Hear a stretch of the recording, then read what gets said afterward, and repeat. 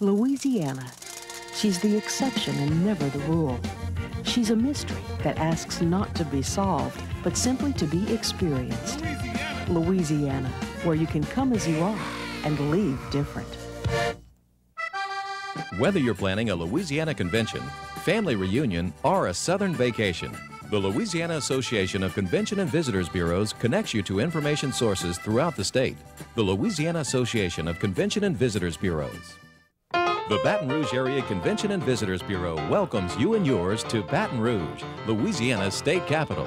From the old governor's mansion to fabulous dining and Zydeco dancing, Baton Rouge, authentic Louisiana at every turn. Popeyes Chicken and Biscuits, featuring Cajun-style chicken, red beans and rice, and buttermilk biscuits, all flavored by the memories and imaginations of Louisiana chefs. Popeyes Chicken and Biscuits, committed to preserving Louisiana's flavor heritage. Louisiana, we have a saying we don't eat to live, we live to eat. And y'all, that could have a double meaning. In every bayou village and home we visited, we found one thing to be true. Although all of our dishes taste great, they're not all good for us. So my mission today is to take our time-honored recipes and make them a little healthier for us. I'm Chef John Folse. Welcome to Louisiana Cooking with a Change of Heart.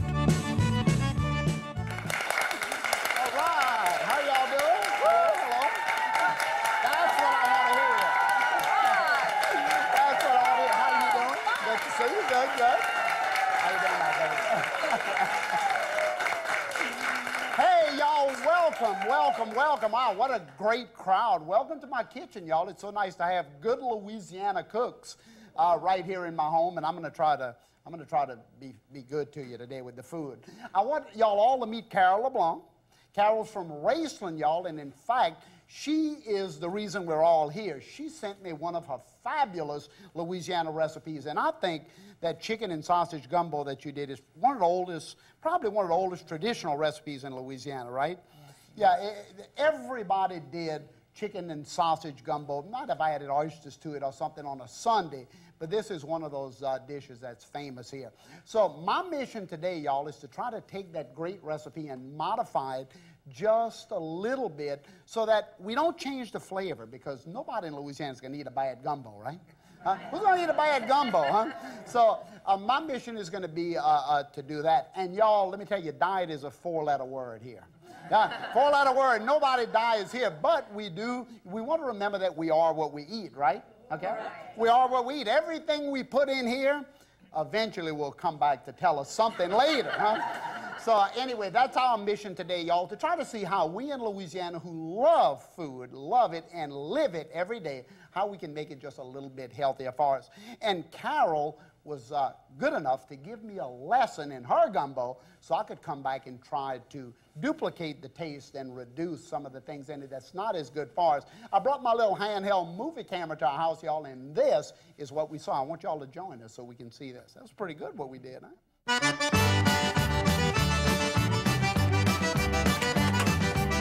Hey, how you doing? How are you? So good to see you. Oh, nice to meet you. Bonjour. I tell you, all these Cajun houses smell great food. Well, it should, John. I've got some of that great chicken and smoked sausage gumbo on the farm. Oh, it's Would you really like just, check it? It's just fantastic smelling. Oh. Oh, you know the smoke in here is so incredible. Is this a local uh, yes, sausage? some bourgeois. It's, it is. They have Oh. real great sausage. Oh, I tell you what, I'd love to get a little taste of this. Huh? Well, let's go on and eat. I've got the table Oh, set. you got it. Let's go. Mm-mm. Carol, this is absolutely fantastic gumbo. Thank you mm-hmm. so much. Really good. Mm-hmm. You know, you and I have something else in common other than just loving gumbo.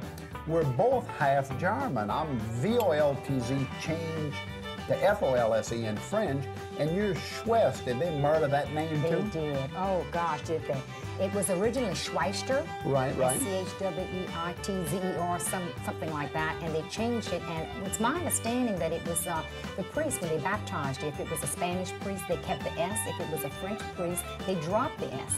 And uh, Yeah, they just they went phonetically with everything, They and I'll tell you, they murdered a lot of those names, or at least Americanized those names. Now, Schwefts was your father's side of the family. What about your mother's side? My mother was a Landry. Oh, ah, in no. fact, the gumbo is, in fact, what you're eating now is my grandmother uh, Landry. This is her famous recipe, Well, she was a great cook, let me tell you. which was uh, very unique uh, because back then it was really, really fresh.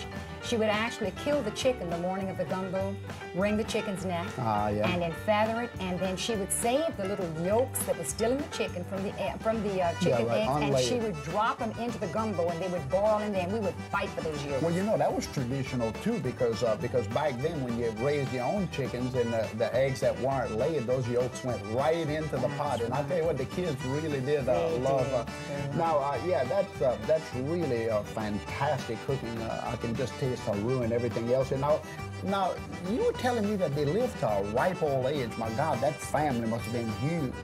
Yes, they had um, five daughters and one son. Of course, they're all deceased now. But they lived to be 98 years old, both of them. They were married for 75 years.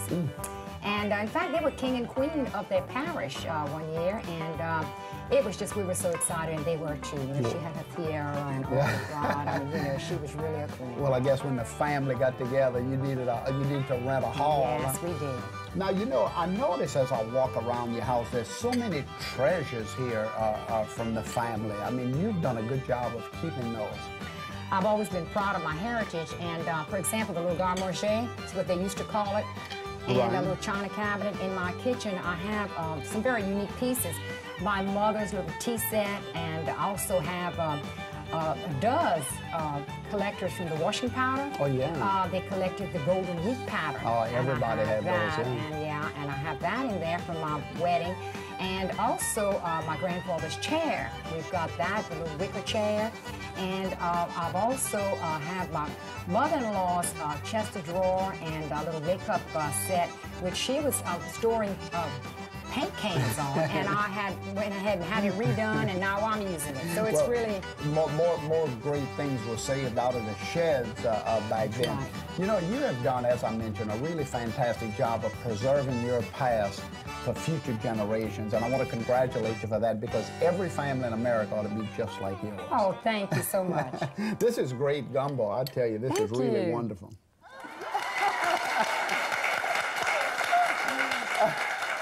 Y'all, I tell you, that, that was really great going through your home because it was a museum of the family past, and, and you're fantastic. But before we talk any more about that, I have an added surprise for all of you because all these great Cajuns, Cajun food, I brought in here to entertain you today Ann Savoy, and I tell you, y'all have to meet Ann Savoy.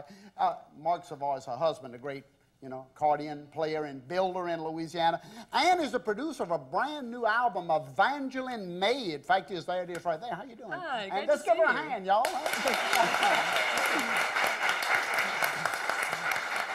now, uh, now you came from uh, you came from Eunice today, the heart of Cajun country, but you were originally from Richmond, Virginia, and I want to talk about that a little bit later. But I want you to kick the show off. You have a good song for me? Yeah, let's play a little tune Now, off y'all, the Evangeline Magno- May. Hey, uh, Ann Savoy and the Magnolia Sisters, y'all. Hey, hey, let, let me hear it. Go ahead.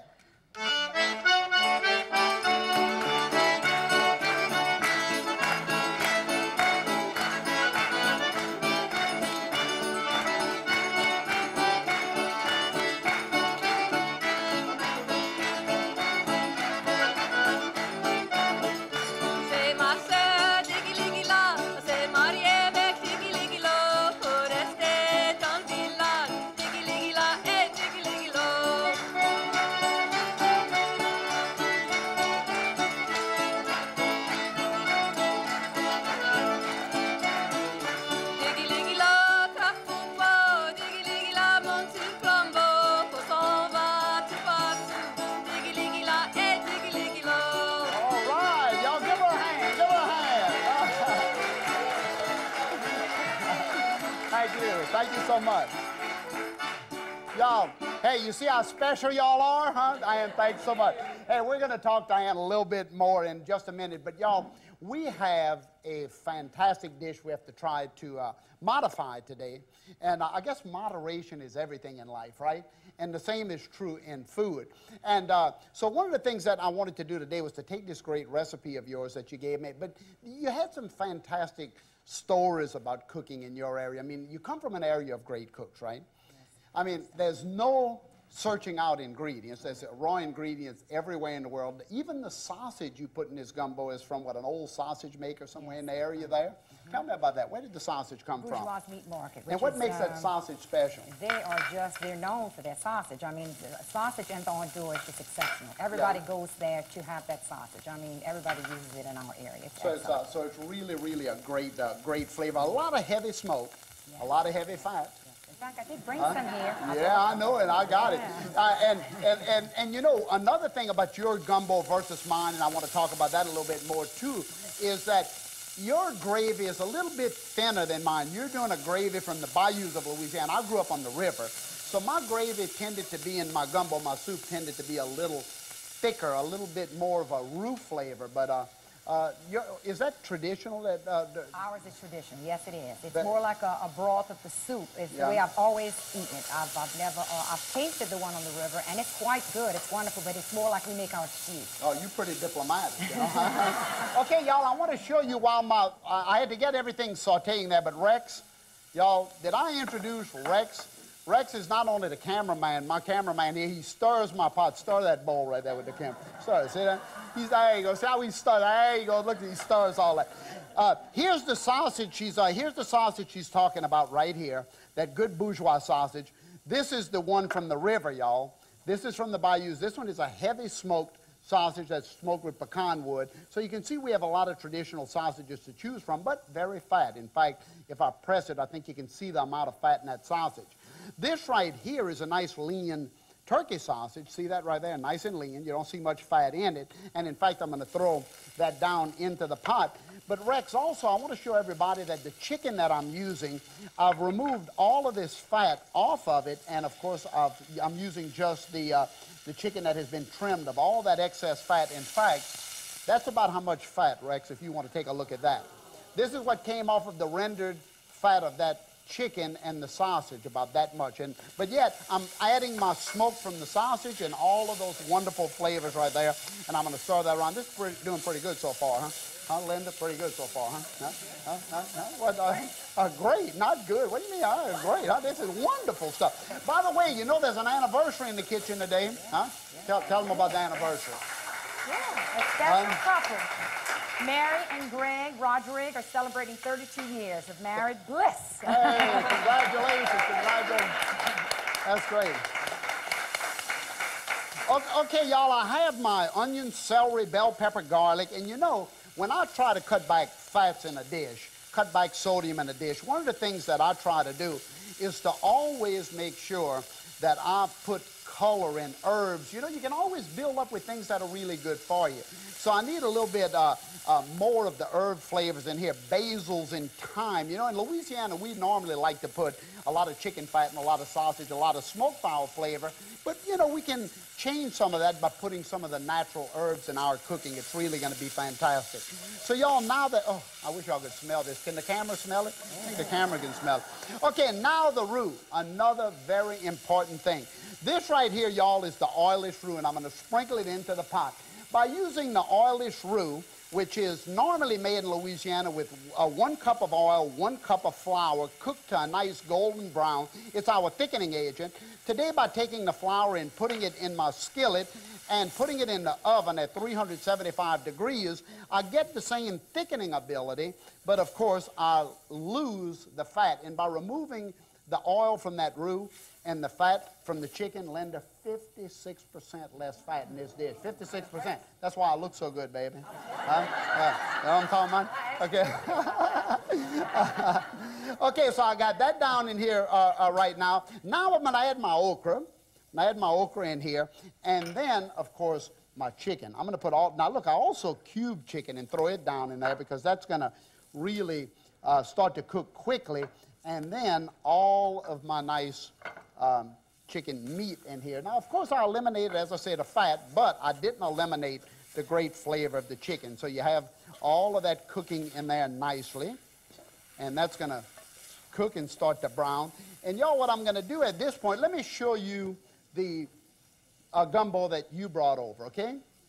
I have that gumbo right there. Take a look at that. And I want to get right down in here and take a look at this wonderful, wonderful gumbo, and your, yours is made with the original where you have a good roux in it, right? And then you're using the bourgeois sausage. Right. Uh, a little bit green onions, onion celery. Mine is really doing, oh, I tell you, smelling good. Okay, Michelle, I need somebody to give me a little bit of a carafe so I can get me a little bit of hot water here. Now, you watch my pot, just look at it while I get me a little bit of this nice hot, now I'm going to get me some nice hot water here because I could use a stock. I could use a defatted stock in my, in my recipe, but since I have all of these nice flavors in here, I'm just going to use water. And if you wanted to use a low sodium chicken broth, it would be just magnificent for you. But just go ahead and look. The minute the water hits this, the roux is going to start to thicken it. Oh, look at that. Doesn't it look fantastic? It looks just like the original dish. Now, you know, don't go telling people, well, y'all, let me tell you how good this gumbo is. I took 50% of the fat out. You know, you don't have to tell anybody that. What you want to tell them that for, huh? Huh? That's like saying, y'all, guess what? I got holes in my socks today, you know? Yeah, I mean, you know, make a good gumbo like this and a little salt substitute. I'm going to bring this to a good rolling boil. A little pepper. How much pepper? As much as you like. To taste, I always say it, to taste. Uh, just kind of whack that around in there. Oh, oh. Look at the noise I'm hearing.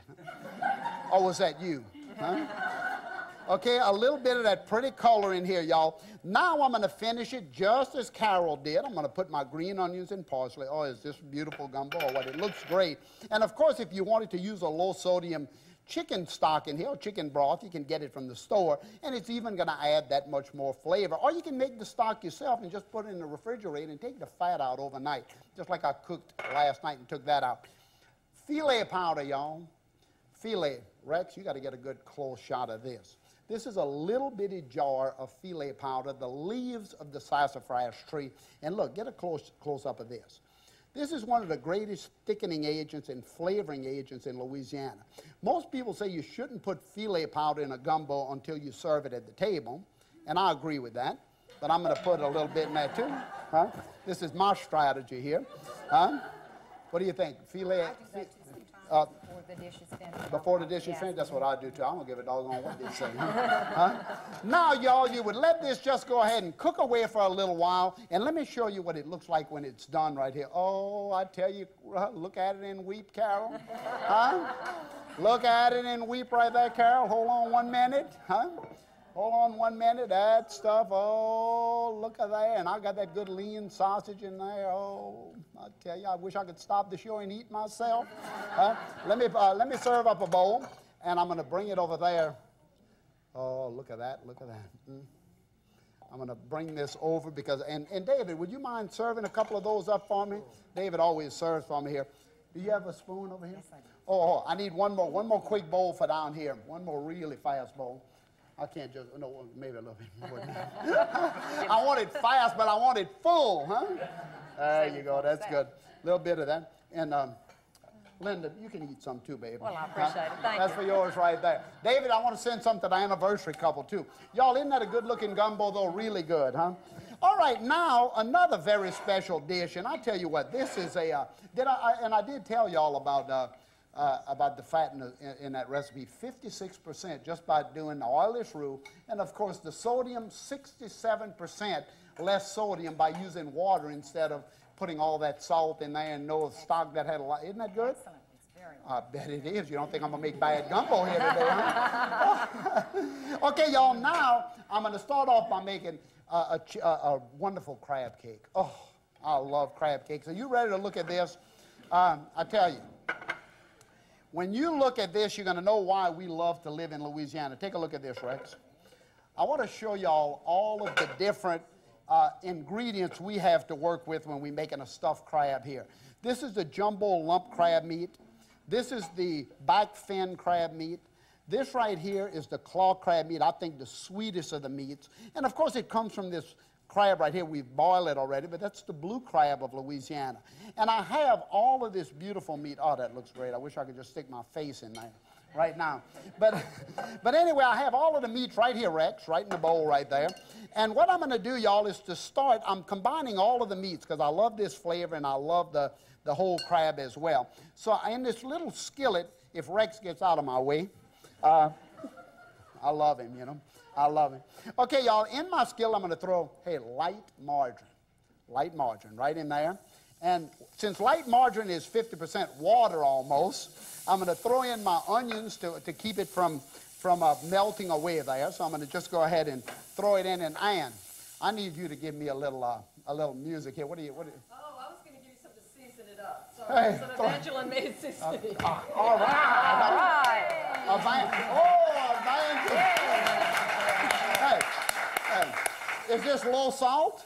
I mean, is this low sodium here? That's I'm going to put a little bit. totally, Why don't you just give me a little something while I stir up this crab and all that here. Y'all, this is, huh? Okay. Oh, yeah, that's good music for my stirring.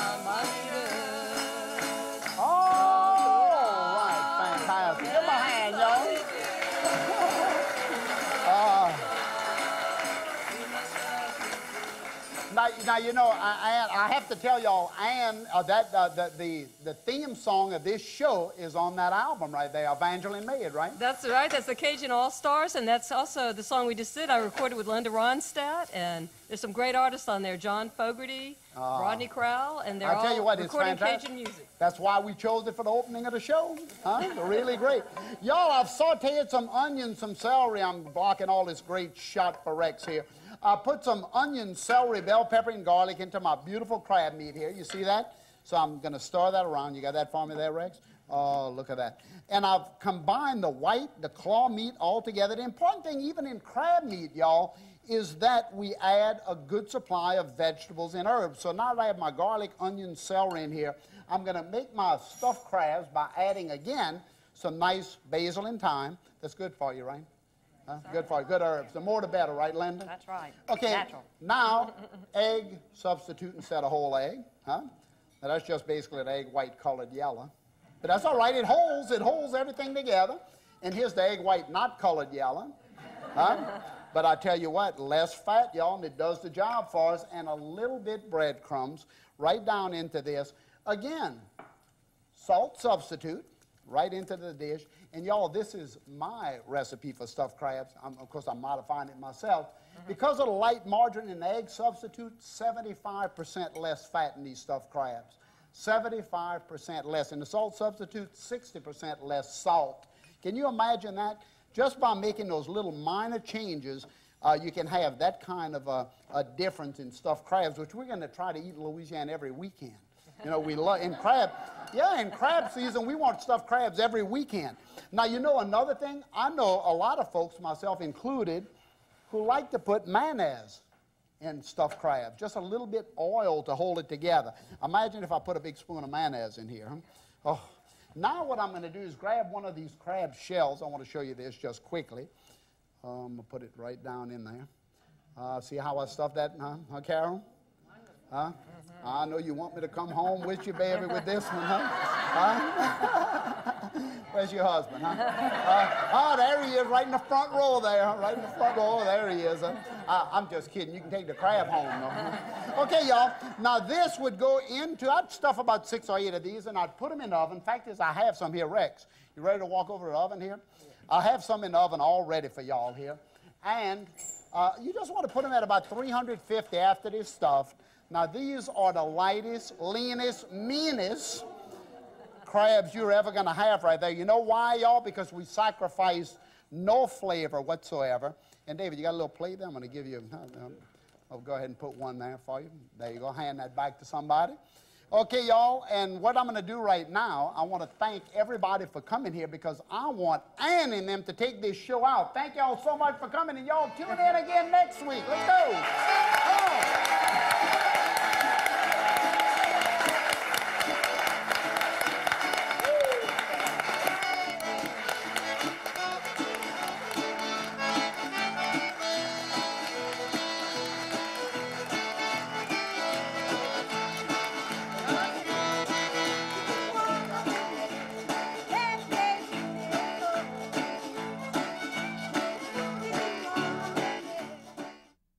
Louisiana. She's the exception and never the rule. She's a mystery that asks not to be solved, but simply to be experienced. Louisiana, where you can come as you are and leave different. Whether you're planning a Louisiana convention, family reunion, or a southern vacation, the Louisiana Association of Convention and Visitors Bureaus connects you to information sources throughout the state. The Louisiana Association of Convention and Visitors Bureaus. The Baton Rouge Area Convention and Visitors Bureau welcomes you and yours to Baton Rouge, Louisiana's state capital. From the old governor's mansion to fabulous dining and Zydeco dancing, Baton Rouge, authentic Louisiana at every turn. Popeyes Chicken and Biscuits, featuring Cajun style chicken, red beans and rice, and buttermilk biscuits, all flavored by the memories and imaginations of Louisiana chefs. Popeyes Chicken and Biscuits, committed to preserving Louisiana's flavor heritage.